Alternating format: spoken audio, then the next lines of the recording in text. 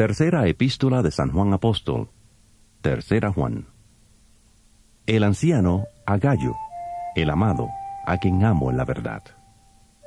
Amado, yo deseo que tú seas prosperado en todas las cosas y que tengas salud, así como prospera tu alma. Pues mucho me regocijé cuando vinieron los hermanos y dieron testimonio de tu verdad, de cómo andas en la verdad. No tengo yo mayor gozo que oír que mis hijos andan en la verdad. Amado, fielmente te conduces cuando prestas algún servicio a los hermanos, especialmente a los desconocidos, los cuales han dado ante la iglesia testimonio de tu amor, y harás bien en encaminarlos como es digno de su servicio a Dios, para que continúen su viaje, porque ellos salieron por amor del nombre de Él, sin aceptar nada de los gentiles. Nosotros, pues, debemos acoger a tales personas para que cooperemos con la verdad.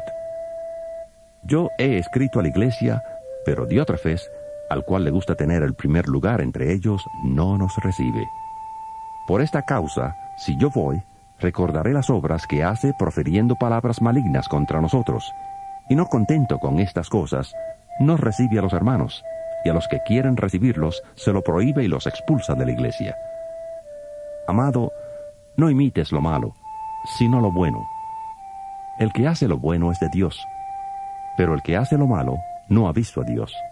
Todos dan buen testimonio de Demetrio, y aun la verdad misma, y también nosotros damos testimonio, y vosotros sabéis que nuestro testimonio es verdadero.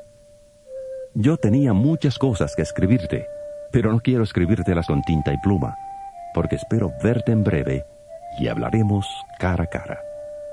La paz sea contigo. Los amigos te saludan. Saluda tú a los amigos, a cada uno en particular.